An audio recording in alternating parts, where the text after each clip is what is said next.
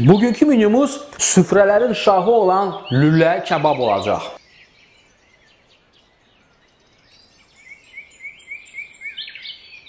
Hər vaxtınız xeyir olsun. Sizi bu günləri başqa bir rakursdan salamlayıram. Bu gün də bazar günlərimdən biridir və fikirləşdim ki, ən dadlı yeməklərdən nə edək? Əlbəttə ki, ev şəraitində çox asan, qənaətcil, dadlı və maksimal manqalın üzərində bişmiş şabın dadını almağa bugün çalışacağıq. Hamımız bilirik ki, lülə kebab dadlı olduğu qədər də ə, onun hazırlanmasında professionallığı, bacarığı tələb edən biri kebab növlərindən biridir. Lülə kebab incəliyi sevən, amma onunla bərabər də çox gözəl bir təyamdır. Çoxumuzun isə buna imkanı yoxdur ki, lülə kebabı evdə hazırlaya bilək.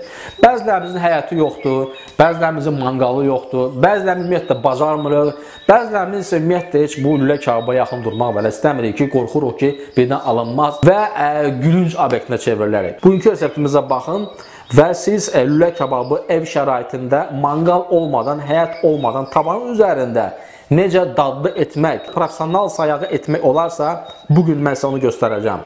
Lülə kebab üçün e, bizə lazım olan təyyamlar isə 300 qram ət, bir baş soğan, harasa 40-50 qram quyruq, yəni çəkilmiş halda. Əlbəttə ki, servisə verəndə lavaş arası olacaq, üstündə soğanlar və e, gözəl şəkildə sumaq səpəcəyi və petruşkanla üstünə qoyub dürmə eləyib bu təamın dadına baxacağıq. Odur ki, əlbəttə nə edirik? Əlbəttə ki, başlayırıq. Lülə kebabımızı biz bu günlərə malatin eləyəcəyik. Malatimiz 300 qram, ona hesabı 40-50 qram quyruq gedəcək. Soğan doğrayacağıq. Soğanı biz xırda-xırda doğramalıyıq ki, e, çox da hiss olunmasın.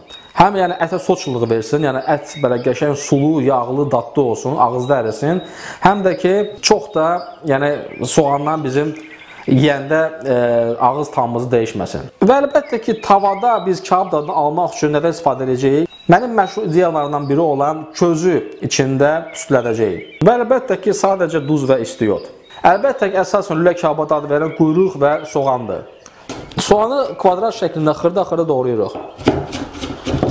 Bir şey yaddan çıxarmayın ki, soğanı ət maşından keçirib lülə ətinə vurmayın. Çünki bu lülənin tez dağılmasına və o qədər də gözəl vid almasına səbəb olur. 300 qram ətə bir baş soğan kifayət eləyir. Həmən doğradığımız xırda-xırda soğanları bir salfetkanın içinə qoyuruq və bu cürlə gözləyirik ki, bütün soku salfetka çəksin canına. Çünki soğan çox sulu olanda lülənin dağılmağa şansını daha da artırır. Ona görə tam suyu sıxılır və soğanın özləri istifadə olunacaq. Bu cür. İndi keçirik lülənin farşına, e, duz vururuq. Təzə rəndələnmiş istiot. Bir içimdə də ət otu qatırıq. Duz, istiot və ət otu. Bu kifayətdir. Və əlbəttə ki, ən sonda soğanımızı əlavə edirik. Və yaxşı-yaxşı bunları qarışdırırıq. Əsas lüləyə dad verən, bayaq dediyim kimi, soğan, quyruq və qatdığımız ədviyyatlardır əlbəttə ki. Duz, istiot və ət otu. Və farşımıza soğan, duz, istiot, ət otu qatdıqdan sonra Bu cürlə kündələməyə başlayırıq. Sanki hələ təsəvvür edir ki, elə bir şişə lülə hazırlayırsan. Başlayırıq əlimizlə belə imitasiya eləməyə. Sanki şişə salırıq. Və eyni ilə digərləri. İçindən çalışdığı qədərlə havasını çıxardın. Üzdən görünüşü Adana kabına bənzəyir. Baxın, fikir verirsiniz, belə lülə tikələrimiz artıq hazırdır. Bu krasatçiklərimiz indi elə pişəcək ki, sanki biz oturub bağda manqal üstündən götürüb lülə kabı yeyirik. Lülə şəklində salırıq və əlbəttə ki, tavamızı qızdırırıq. Tavanın altını yandırırıq və belə quyruğu tavaya sürtürük. Yəni yağı yayılsın tavaya. Yəni dur yağdan istifadə eləməyəcək, çünki duru yağ kabın tamını e, korlaya bilər. Yəni bir qədər yağlı oldu, səth kifayət eləyir. Bu cür lülələrimizi yerləşdiririk tavamıza. Bəh, bəh, artıq soğan və quyruq bir-birinə reaksiya girir istidən lülənin iyini mərcəyi hiss eləməyə başlayıram. Hər tərəfini bir dəqiqə olmaqla başlayırıq pişirməyə. O biri gözümüzdə isə közləri yerləşdirib altını yandırırıq. Qoy kömürlər közləşsin.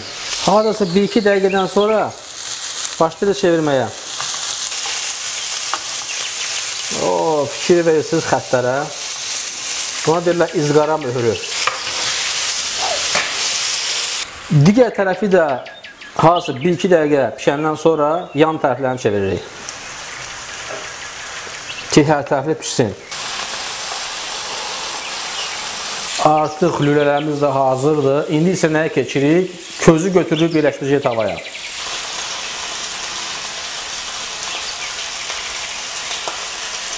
Kömürlərimiz də artıq közlənib. Tam hazırdır bizim lüləmizə aromat vermək üçün. Közlənmiş kömürlərimizi bu cür qoyuruq bunun içinə. Elə həmən yağın təmasa keçən ki, başlayır tüstülənməyə gördüyünüz kimi. Və ağzını bağlayırıq. Üstünə də bu cür dəsmal atırıq ki, lülərimiz tüstünün içində yaxşı dəm alsın. Lülərimiz tüstünün içində dəm alana qədər, yəni tüstü içində hopdarana qədər biz başlayırıq servisini hazırlamağa. Bu cür yumruvari soğanlarımızı doğrayırıq. Biraz petruşka. Petruşkanı çox xırda doğramaya ehtiyac yoxdur. Bu cürlə iri-iri doğrayırıq. İndi isə başlayırıq servisə. O, super. Soğan əlavə edirik. Soğan əlavə edəndən sonra üstünə petruşka və əlbəttə ki, sumaq. Həqiqətən də çox gözəl bir görüntüsü var və onunla bərabər çox gözəl, möhtəşəm bir qoxusu var.